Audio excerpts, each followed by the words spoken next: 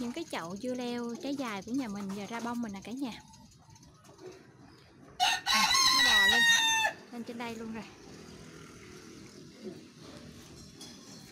Đây một hai ba bốn năm chậu. Chậu nào cũng có bông rất là nhiều. Đây là dưa leo trái dài nha. Đây là lần đầu tiên nhà mình mua cái hạt giống. À, mà sáng tưới nó rụng mông nhiều quá. Đây nè.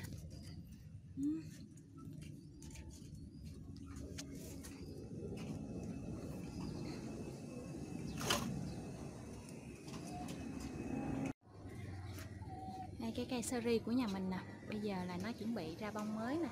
Bông rất là nhiều luôn. Mình tỉa bớt để cho nó ờ, ra bông á. Bữa hổm xum xuê. Mua cái cây ờ, với giá 50 ngàn. Trồng được mà bữa hổm tới giờ chắc cũng chưa tới năm đâu.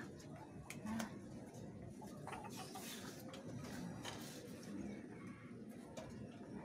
ăn được ờ, vài trái.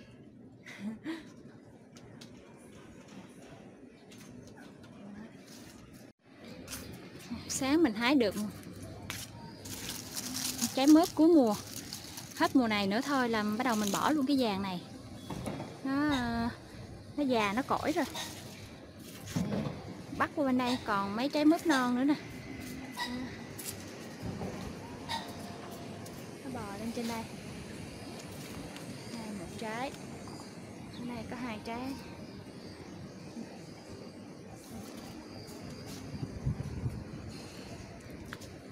là cái à, cái này nè cả nhà thấy không? Này to hẳn luôn.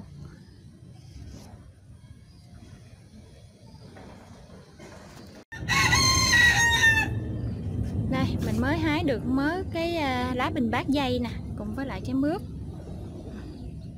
Bình bát bây giờ hả, rất là tươi tốt.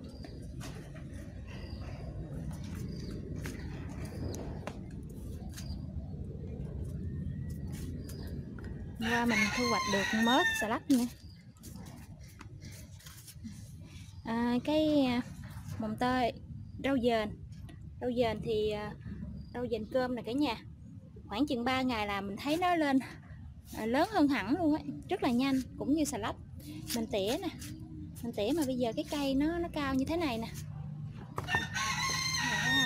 Nè mình tỉa từ từ từ gốc nè.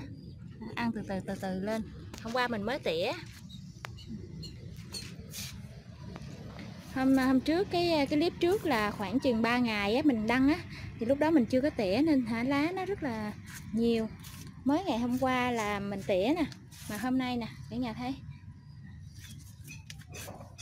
Đây là cái uh, hoa rau sam. Cái sam này à, nó rất là tốt nha cả nhà. Đây nè sam.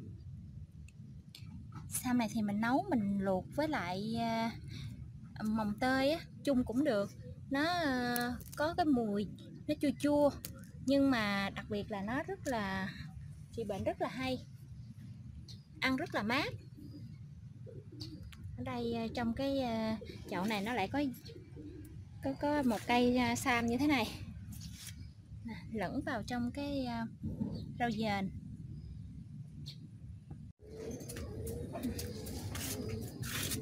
đây là cái chậu à, hoa sam nè cả nhà. Bông rất là đẹp.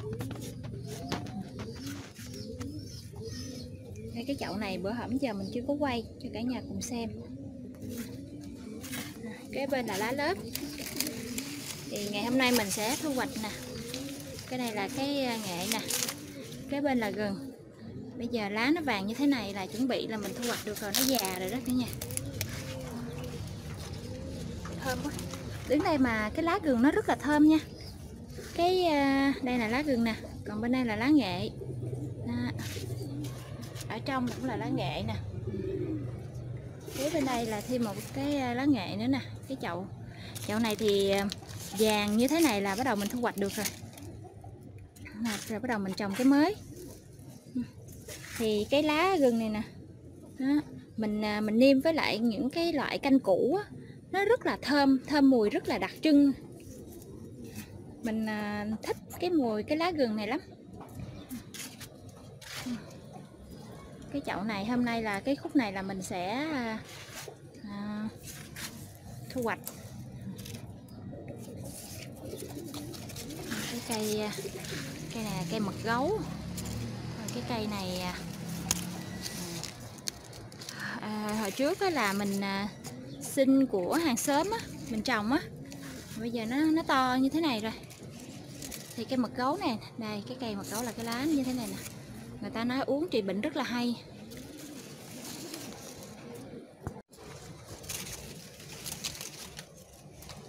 Đây, có cái chậu mai mà gần tết rồi cái cây mai này mình trồng rất là lâu rồi.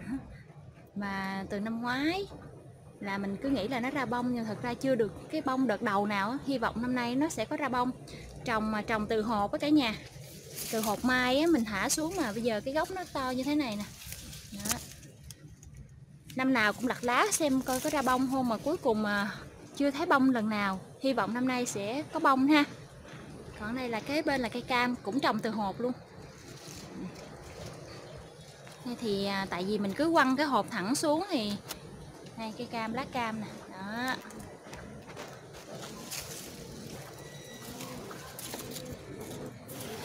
Mình cứ quăng vào cái hộp vào trong cái chậu rồi từ từ nó lên mà mình cứ không để ý thì nó sẽ lớn từ từ thôi cả nhà. Mới đây cũng nhanh lắm là mấy năm á. Bên cái bên là cái đu đủ nè. Đó, cái đu đủ này. Không biết khi nào nó mới có ờ, trái đây. Hôm nay là mình thu hoạch được cái ờ, rau muống được rồi nè cái chậu rau muống của mình hôm nay cũng rất là tươi.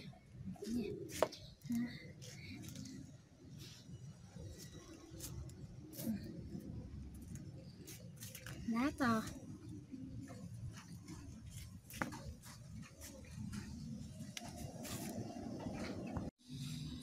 Xin chào cả nhà, chúc cả nhà mình ngày mới thật là vui Ngày hôm nay nhà mình sẽ nấu cái món ờ, rất là quen thuộc Đó là thịt kho hộp vịt. Đây, Thịt đây là mình mua thịt đùi trong siêu thị này cả nhà. Ở đây là 442 gram Bên đây là 420 gram Khoảng tương đương ờ, 850 gram. Mình kho với lại ờ, một 10 trứng vịt. Thì vịt đồng đây thì mình mua cái loại nhỏ tại vì mình thích ăn vịt nhỏ như thế này nè nó ngon. Thì để kho cái món này thì mình sẽ dùng nước dừa tươi. Đây là cái uh, dừa này cả nhà. Cái dừa tươi này mình uh, sẽ chặt ra mình lấy nước mình kho thịt. Thì thịt kho nước dừa tươi này rất là ngon ngọt và nó mềm.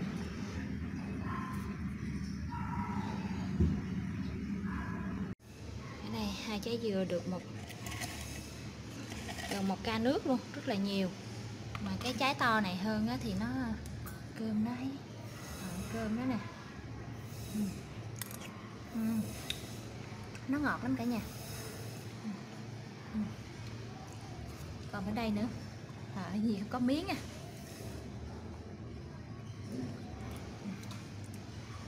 đây cái này thì nó ngọt hơn nè. Mình thích ăn cái dừa này nè. Xay sinh tố ăn cũng rất là ngon ha. Ừ. Ừ. Ngon quá thì ở đây mình à, có hành và tỏi để mình ướp thịt. À, đường bột niêm tiêu muối nước mắm hay những cái gia vị thông thường. Thì ở nhà mình có hai loại đường mình sẽ kho với lại đường vàng cho cái màu nó cũng đẹp cả nha đây là đường trắng nè nhưng mà mình sẽ không kho. Đây ví dụ như bạn nào mà muốn thắng màu tự nhiên của đường thì mình có thể sử dụng đường vàng cho nó nhanh.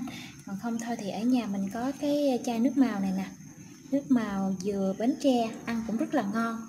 Thì mình, nhà mình thường dùng màu này để mà kho thịt đó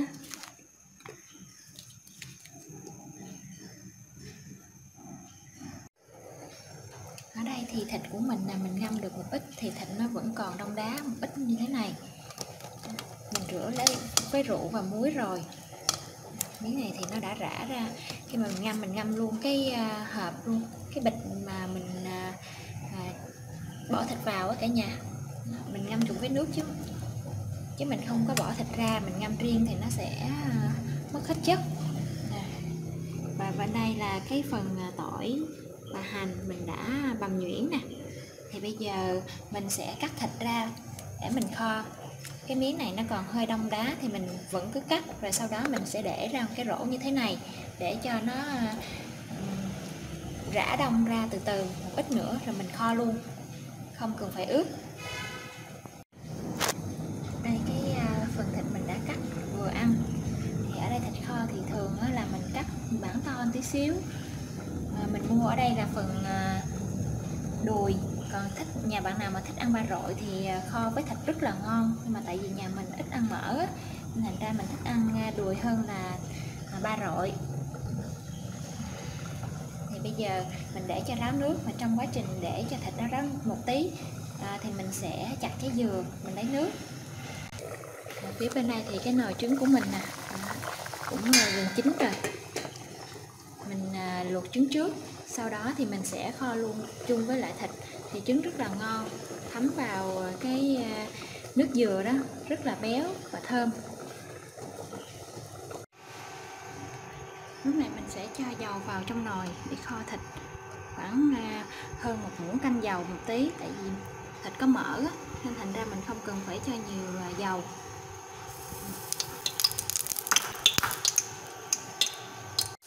Bỏ cái phần tỏi hành và mình chia cho vào một tí mình để cho cái phần à, thịt đổ vào nha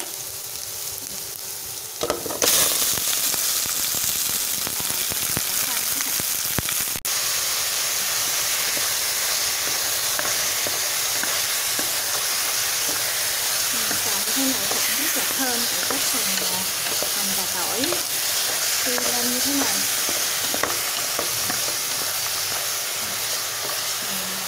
đảo đều tay nè lúc này mình sẽ cho gia vị vào luôn ở đây mình cho thêm hai muỗng canh nước mắm nè tiêu cùng với lại một ít nước màu vào. Mình trộn đều hỗn hợp như thế này rồi mình sẽ bỏ vào trong thịt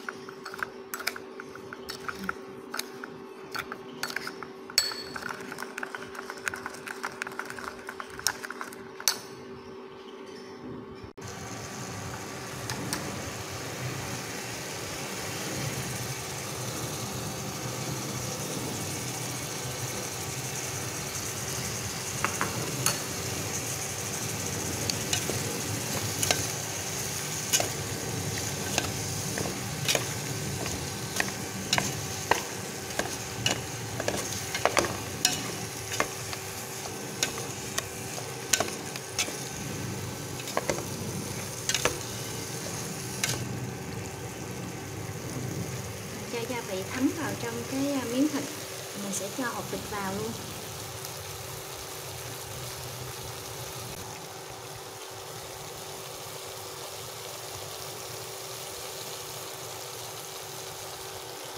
Mình thấy lúc này thịt nó rất là thơm cả nhà. Phía dưới đây là nó sền sệt cái gia vị này nè. Cho cả một tí nữa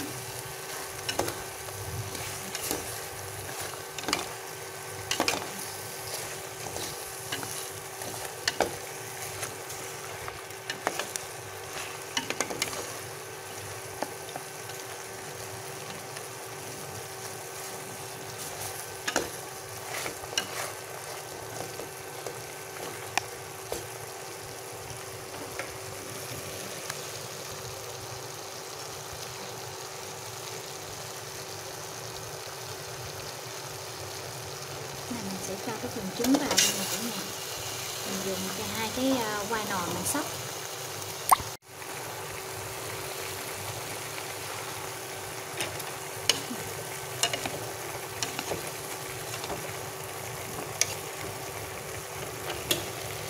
mình sẽ cho cái phần nước cốt dừa à, nước dừa vào. Đây là nước dừa tươi nè mình cho ngập cái phần thịt.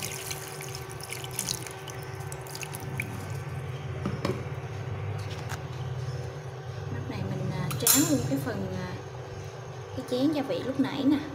Mình đổ vô luôn. Mình kho ha. Mình kho khoảng trong vòng à, 20 đến 30 phút.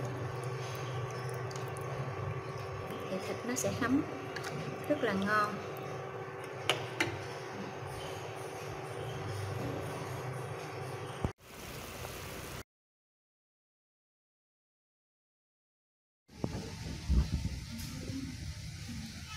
bữa cơm của mình thì gồm có ờ, canh canh này canh rau thạch tàn dền mồng tơi à, bông bí. Mình nấu với lại ờ, ruốc cũng như thịt heo. Đây là rau này là rau nhà mình trồng. À, phía đây là thịt kho trứng. À, thịt kho à, trứng vịt với lại nước dừa tươi rất là ngon. À, mà cả nhà cùng cơm với nhà mình nha.